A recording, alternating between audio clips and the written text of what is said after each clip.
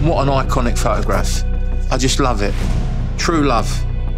He's decided that actually the worst thing I could lose is my self respect. The main thing I think about when I see this picture is just how happy John looks. This is the moment she takes full possession of her power and her strength. I wouldn't change my life. The photographs are magical. It's the unvarnished him. There's a confidence oozing from this picture. You don't need styling or anything, you just need the human being.